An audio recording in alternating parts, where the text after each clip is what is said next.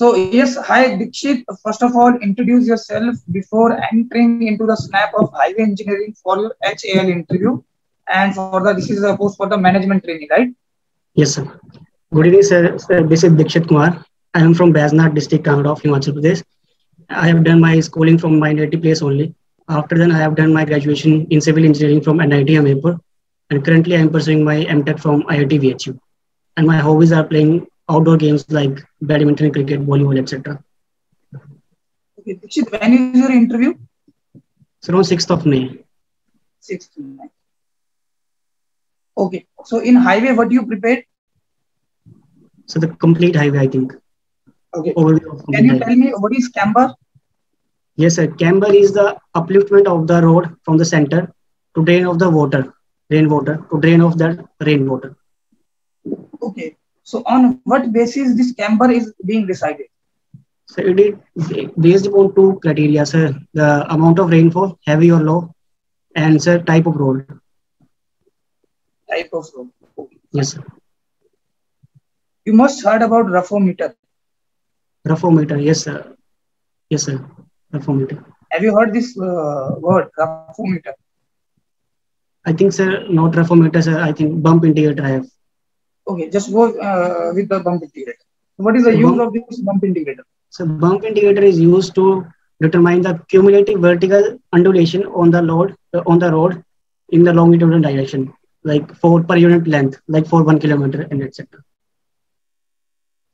Okay, Dikshit, uh, there is a two type of slope generally we have uh, for a road. One is your uh, this gradient and another one is your camber. What is the yes, difference sir. between that? What type of slope they are basically? I just want to know. Yes, sir. Camber is on the cross cross section of the road. Like this is the cross section of the road, then camber will be like this. And the gradient is sir along the longitudinal direction. The height uh, this. Fine. Can you tell me what is the maximum width of the vehicle as per IRC? Yes, sir. 2.44 meter. 2.44 meter.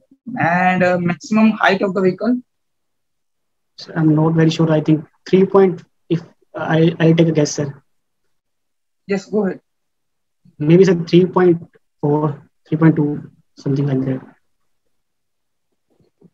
Uh, you must heard about this uh, intermediate. Yes, sir, intermediate. Yes, sir. So, uh, what is the width of that particular carriage? Sir, five point five meter. Uh, Dikshit, one we have this uh, flexible pavement and another we have rigid pavement. Yes, sir. So can you tell me the code for the rigid pavement? Uh, what, sir? Which one code we are using for the designing of the rigid pavement? Which one code? Yes, code. Okay, code, sir, for, for the flexible pavement, it is IRC 37. And for rigid pavement, it is uh, 58. So as per this code, can you tell me what is the this minimum grade of concrete requirement for making this rigid pavement? No, sir. Exactly, I'm not sure about the uh, uh, grade of concrete, sir. Okay, fine. So can you tell me the layers that we have in the flexible pavement? Yes, sir. There are mainly four layers. The first one is subgrade layer, then the sub-base course, then the base course, and the final is the surface course. So uh, specific to highway, we have two tests. One is CBR test and another is the plate load test. Yes, sir. So can you tell me what is the purpose of conducting CBR test in highway? Yes, sir. With the help of CBR test, sir, we can determine the strength of the subgrade. And along uh, after this test, result of this test, along with the some empirical curves, we can determine the thickness of the pavement. So can you define how this test is being performed in lab? Yes, sir. There is a setup in which uh, we have the standard loads for 2.5 mm penetration and the 5 mm penetration. So CBR value is determined as the CBR uh, load at uh, 2.5 meter upon the standard load for the 2.5 meter. Similarly for the 5 mm, so not 5 meter, 5 mm and 2.5 mm.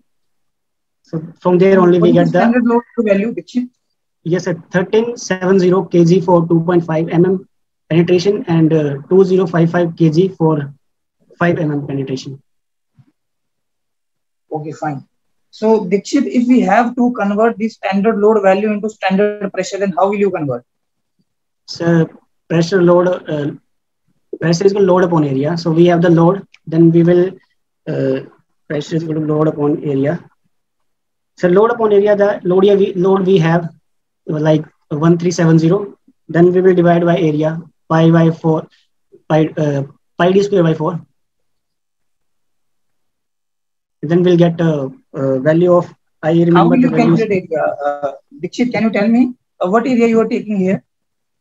What area? Yes, yes. So uh, area radius of the so load upon area. Area is pi by four d square, and d here we are taking I think the uh, plunger diameter. I think plunger diameter. Yes, From there, we can get the value. Okay, fine. Fine. Uh, can you tell me, uh, as per this uh, IS 2720, that is code for the CBR uh, test. Yes, so, sir. according to this code, uh, how many days we have to soak the soil specimen in water? Four days. Four days. Yes, sir.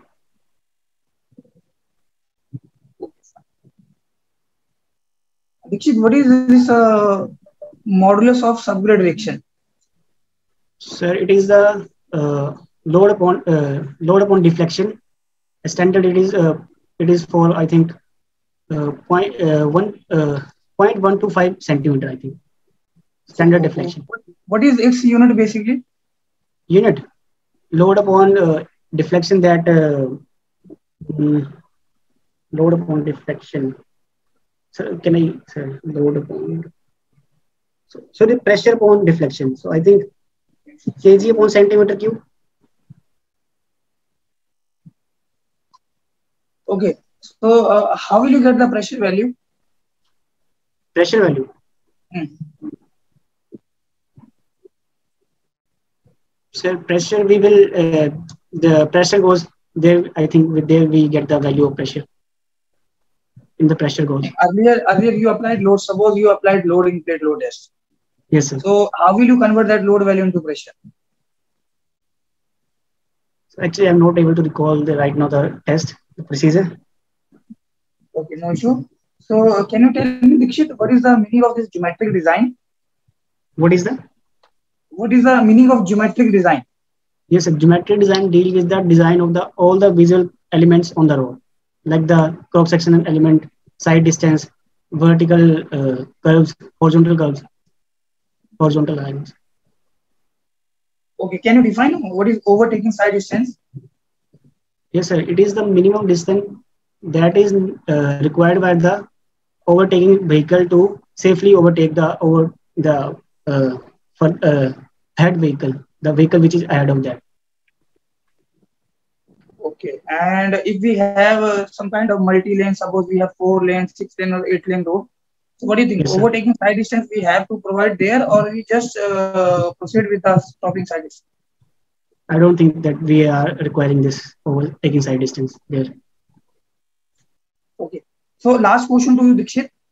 So can you tell me what is the value of coefficient of longitudinal friction and lateral friction as per IRC? Yes, sir. For lateral friction, it is 0.15, and for longitudinal, it has a range, which are which depends upon the velocity and the range is point from 0.35 to 0.4 I think. And why coefficient of lateral friction is less as compared to longitudinal? Sir, uh, to avoid the overturning, so we take the lesser value in case of lateral friction. Okay, on, on what basis these values are being decided? Uh, lateral friction. But, sir, I, am not able to get your question, sir. Uh, we have the coefficient of lateral friction 0.15. Yes, sir. And longitudinal friction, you said there is a range 0.35 to 0.4. Yes, so sir. on what basis, what thing we consider while we are just defining these uh, are the coefficient of lateral and longitudinal friction value. So, so in the design, there will be there is a the, the, it is a effective factor in the design, sir. That's why we have to take these values. Okay, so uh, Dikshit, fine. So I think uh, right now I can provide you feedback. Okay, sir. So first question that I ask you, camber, that is okay. Camber is Okay. kind of the cross slope or transverse slope provided to the road surface. So dependency of camber, that is also okay. Uh, bump integrator. You told uh, this is a, giving us the cumulative measure of the vertical undulation for a particular road length. Yes. ये sir rough roughometer क्या था उसका क्या होगा sir Raphometer uh, doing the same purpose. Same purpose Bump integrator, yes. Raphometer doing the same purpose. Okay okay these are two different instrument and और the से और the एक ही अ, दो एक ही इंस्ट्रूमेंट के दो नाम है sir Yes, yes. You can also consider it like this. एक Raphometer, bump इंस्ट्रूमेंट के दो नाम okay although in bump integrator in port, its speed is being decided because it is an instrument which is going by another vehicle and that vehicle speed is specified yes sir. Okay?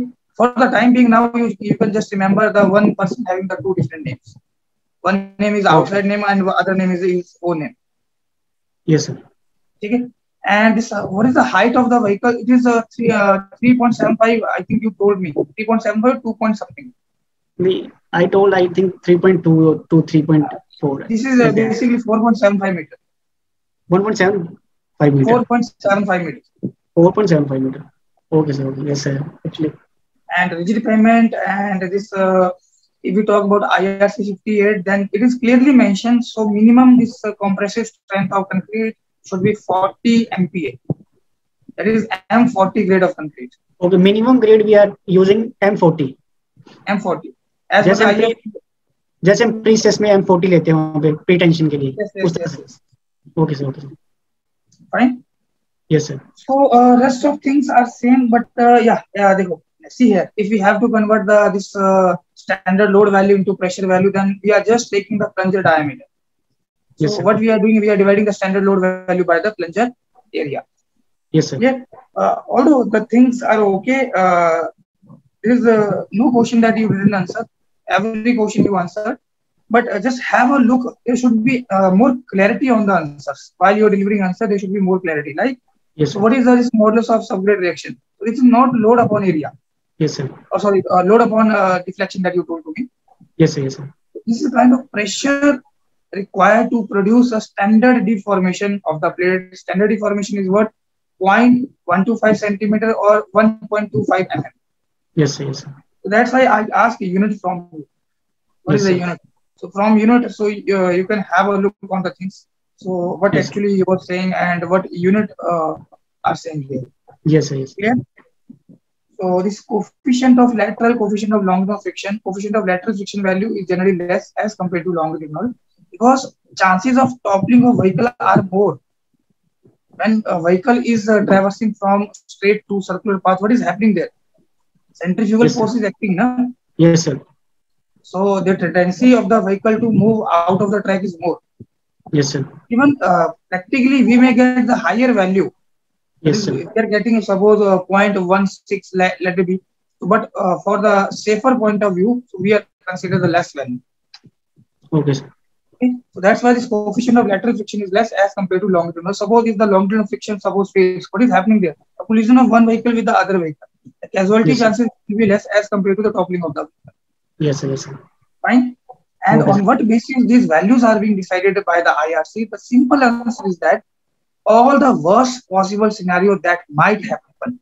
Suppose your road is super elevated, uh, heavy rain is there, mud on the road surface is there. All the worst condition we consider. After that, we just considering these are values. Practically, the frictional coefficient value may be higher than this one. Okay, okay. We have taken the lowest value for the worst condition. Yes, yes. And uh, we want to be in safer zone. Na? Yes. Yes, We always want to be in safer zone. yes sir. fine. So, uh, Dikshit, uh, everything is okay. Just uh, one thing you have to improve in yourself while you are answering the question. Just uh, be some professionals. Uh, like, uh, don't take okay. Uh, this uh, modulus of subgrade reaction is this one. It is a load upon deflection. So whenever you're defining a particular thing, because uh, you're not uh, appearing in the Viva, just have a look uh, after this conversation. It will also be available on the panel. Just improve little thing in yourself. That will be very helpful to you, Dikshit. थोड़ा सा formal थोड़ा formal justice पे yes yes yes yes that basically I was saying okay okay sir okay and everything is good मतलब मैं थोड़ा question you answer that is very good and you just uh, uh, have a little pause. That is not that is not an issue. If okay. someone is asking ten questions from you and you are answering seven, eight, that is very good. Okay. Sir. Okay. And so hmm. level of question. So level of question कैसा रहेगा sir? Uh, the same. Vijay asked. Uh, just have a look on the design of pavement. That is quite important. Okay. Like if we, if we are talking about code, what IRC 37, what IRC 58, main main bullet point. Just have a look on that one.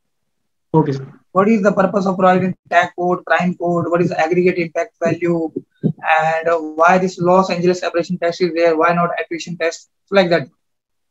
Okay, sir. Fine. Yes, So anything else?